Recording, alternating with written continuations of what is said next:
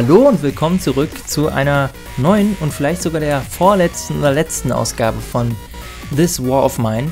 Äh, wir befinden uns gerade im Supermarkt und da machen wir jetzt auch direkt weiter, äh, denn hier ist Jan gerade dabei herauszufinden, ob sich noch ein weiterer Bösewicht versteckt, der vielleicht versucht, Frauen zu bestechen und ihnen Böses anzutun. Gegen Bezahlung. Achso, die Tür war offen zum Lager, okay. Achso, das ist so ein Container, jetzt verstehe ich das, okay.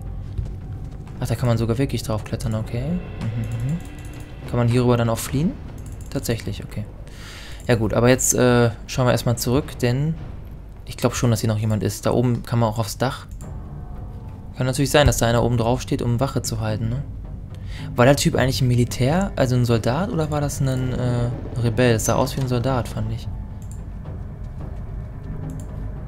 Okay, wir klettern einmal nach oben. Aber es sind jetzt auch keine Bewegungsmuster erkennbar und auf die Schüsse hätte ja eigentlich ein anderer reagieren müssen, ne? Ich denke, dass das tatsächlich hier alles war. Ja, sieht so aus.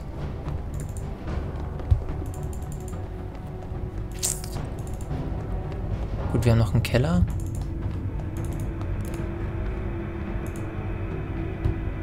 Achso, ich dachte, die andere Tür wäre... Äh, okay, was soll's. Wir schauen nochmal ganz kurz in den Keller. Wo haben sollte da eine Nische sein? Oder hätte ich mich an den Typen auch vorbeischleichen können?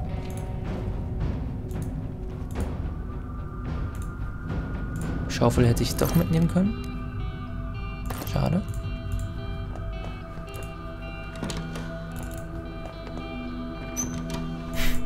Okay. Ah, da ist ein Bett. Vielleicht gibt es eine Routine, wo der Typ sich irgendwann schlafen gelegt hätte.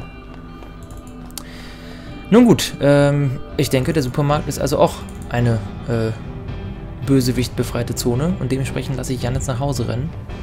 Ich denke, wir haben auch fette Beute gemacht, nochmal eine Sword Rifle gefunden, also krasser geht's ja fast gar nicht. Von daher erstmal alles, äh, alles gut. Loading. Ja, 38. Tag. Immer noch eine Crime Wave. Wir wurden wieder geradet.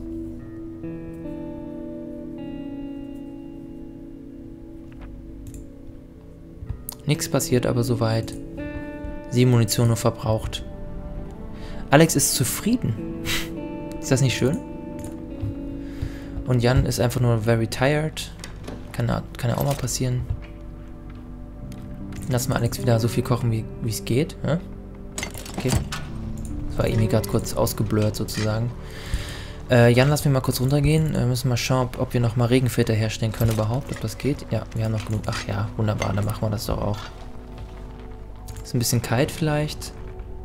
Wir lassen Philipp noch mal ein bisschen nachheizen. Ich glaube, wir haben ja noch Brennholz, oder? Oder ach, für, beim Kochen war es wahrscheinlich gerade verbraucht. Jan has courage. Ach, Alex, that girl should be grateful to Jan. Oh ja. Alex ist so zufrieden, weil, äh, weil äh, Jan so ein cooler Typ ist. Ist ja doch ziemlich realistisch, das Spiel. ja gut, äh, Phil ähm, produziert hier weiter oder macht hier weiter alles warm. Alex soll einmal essen. Phil darf auch noch oben sich auch noch was reinziehen. Boris freut sich über sein Buch. Ist doch schön, dass alle so zufrieden sind. Und Franco ist sogar noch mal da. Ja toll, dann können wir noch mal das Gewehr andrehen und zum Abschluss uns noch mal eindecken, dick, mit ganz tollen Sachen. So. Alex legt sich mal pennen. Boris geht nochmal was essen. Ähm, Jan macht vielleicht nochmal ein bisschen Brennholz. Dann soll Boris sich auch mal wieder zur Gitarre setzen. Phil holt sich noch was zu essen und kann dann noch mit Franco handeln. Und dann sind wir so gut wie durch, würde ich sagen.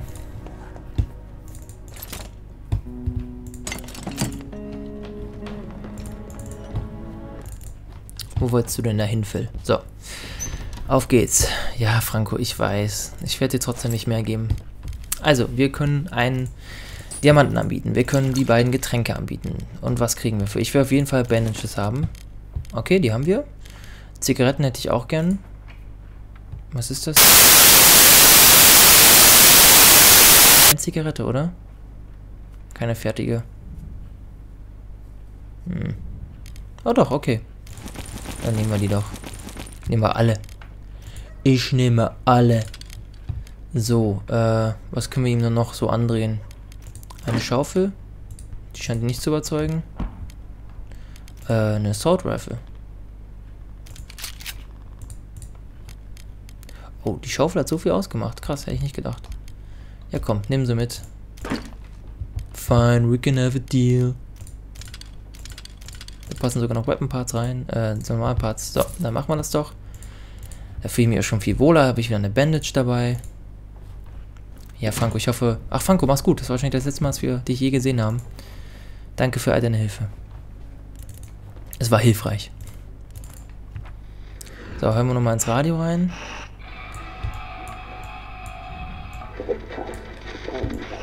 Nichts Neues.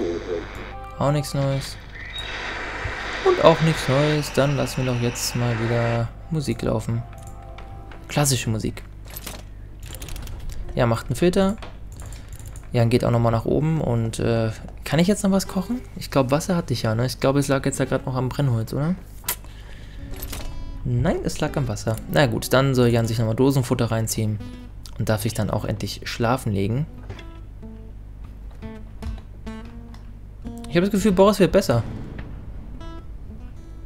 Ja, definitiv. So. Und damit beenden wir diese Nacht, äh, diesen Tag und begeben uns in unsere, ich glaube, vorletzte Nacht. Ja, ähm, Supermarkt, ja, Danger ist weg. Das heißt, ist, da war wirklich nur dieser eine Typ. Das Hotel lässt mich nicht los. Warum steht da immer noch Caution Advised? Ich verstehe es nicht. Und ja, wo bleiben denn jetzt noch überhaupt Bösewichte über, übrig? Ich könnte den Military Outpost natürlich versuchen zu stürmen. Oh, Semi-Detached House. Okay, da gehen wir doch vielleicht nochmal rein. Ins, oh, oder ins Bordell. Da haben wir natürlich auch noch ein paar Verbrecher. Jetzt habe ich die Qual der Wahl. Ich habe jetzt nur noch zwei Nächte. Dann gehen wir jetzt erst nochmal in dieses Haus. Und zwar macht Jan das jetzt auch wieder. Und Philipp hält Wache. Und Alex, weil er so zufrieden ist, soll lieber schlafen. Fühlt er sich gleich noch viel wohler. So, wir rüsten Jan wieder volle Kanne aus hier. Mit ordentlich Munition. Ein Messer natürlich auch. Äh, Lockpick. Schaufel. Und Säge. Dann schauen wir doch mal, was die Nacht so für uns bereithält. Die Zerstörung ist unvorstellbar. Ein Wunder, dass überhaupt noch ein Teil davon steht, sagt Jan. Kann Jan hier hochklettern? Er kann. Ach so, das ist sowieso die einzige Möglichkeit, da reinzukommen. Das da sieht wieder aus wie... Okay, dort oben ist jemand oder da gegenüber. Schauen wir mal durch die Tür. Das ist eine Ratte. Ist das da oben ein Mensch oder ist das hier unten ein Mensch? Ah, ach, die sind wahrscheinlich da drüben. Ach so, okay, die sind da drüben. Okay.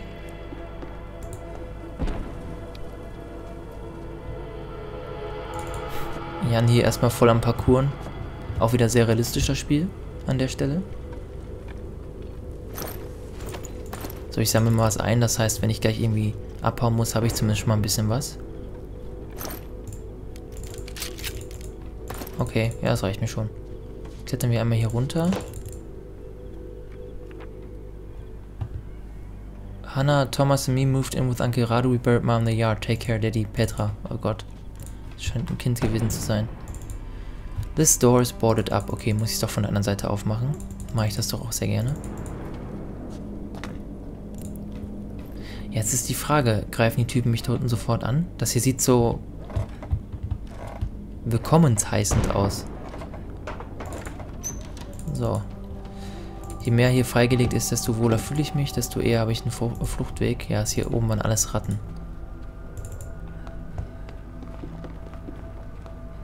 Traue ich mich jetzt dahin oder nicht? Ach, kann ich hier geradeaus gar nicht durchgehen? Ach, der, der handelt mir. Hey, I've got something you like, okay. Schau ich mir noch mal an. Der Bandagen, cool. Aber ich habe nichts zum Handeln. Hm. Ja gut, äh, warum steht da Danger? Also es sind ja eigentlich scheint das eine Familie zu sein, die Ruhe haben will, oder? Hm. Ich kann mich trotzdem hier unten durchschleichen und mal gucken, was ich da oben machen kann, ne? Vielleicht bin ich auch nur hier, um blutrünstig zu sein.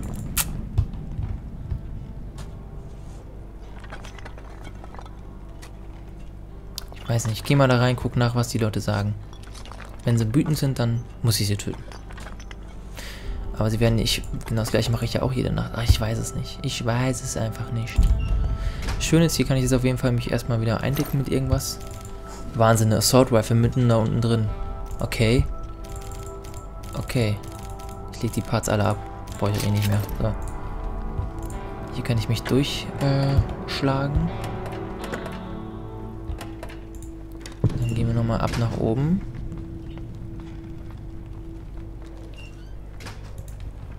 Typ ist gerade da lang gegangen. Das heißt, ich kann jetzt gerade tatsächlich hier rein. Da oben scheinen Medikamente zu sein.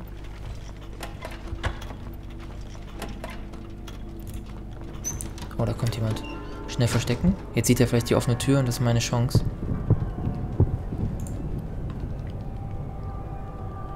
Hm. Komm, komm, komm. Geh hier rein.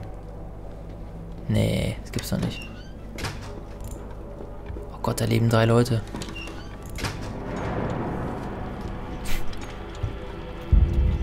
Wundert er sich nicht, dass die Tür wieder aufgegangen ist? Jetzt macht er die wieder zu und geht wieder weg. Meine Güte. und sagt direkt, ich brauche ein paar Tabletten. Hm?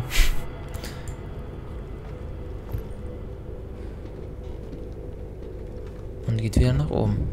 I need to get some fresh air. Wo holt er sich die wohl her?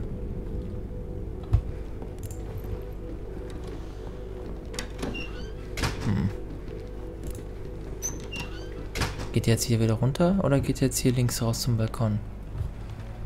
Nein, er kommt nach unten. Und auch er ist vollkommen erschüttert über die offenstehende Tür und macht sie wild entschlossen zu.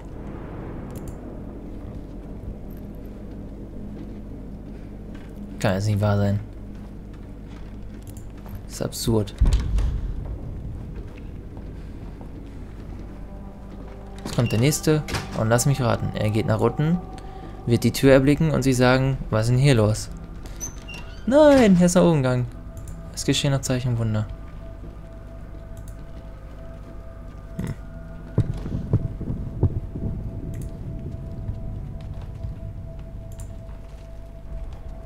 Ja, irgendwie ist die Nacht jetzt auch fast vorbei. Tut mir leid, also ich könnte die Typen jetzt angreifen, aber die scheinen auch irgendwie einfach eine Familie zu sein. Was soll ich da jetzt auch großartig machen? Ich renne zum Ausgang und lasse diese Nacht eine Nacht sein und fertig.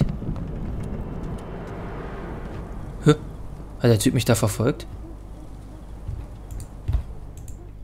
Der Typ hat mich verfolgt, oder? Heftig. Wo kam der jetzt auf einmal her? Das hat, das hat mich jetzt gerade wieder schockiert. Schade, wäre ich nochmal stehen geblieben. Ich den hätte ich gerne nochmal abgepasst. Ja, wie wir sehen, scheint die Kriminalitätswelle abgenommen zu haben. Und auch Jan fühlt sich wie der Weihnachtsmann. Ja gut. Ähm, ja, nochmal verteidigt. Jan hat eine Sword Rifle dabei, da kann er auch mal stolz auf sich sein. Vollkommen zu Recht. Darf zur Belohnung auch direkt mal was kochen. Wahnsinn.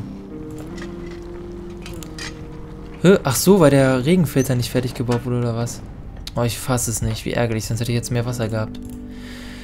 Ah. Stealing Ich habe mich gestohlen. Das lasse ich mir nicht bieten. So, Jan darf sich hinlegen, Boris holt sich was zu essen und auch Alex holt sich was zu essen. Und ja, Phil holt hier nochmal was aus der Anlage raus. Wir haben 21 Grad, angenehme Temperatur. Alles perfekt. Boris ist traurig, darf wieder Gitarre spielen gehen. Phil macht nochmal hier eine Falle klar. Legt sich schlafen. Ne, Phil geht noch was essen. Und Alex geht ans Radio. So. Mal gucken, ob es noch eine neue Nachricht gibt. Aber anscheinend...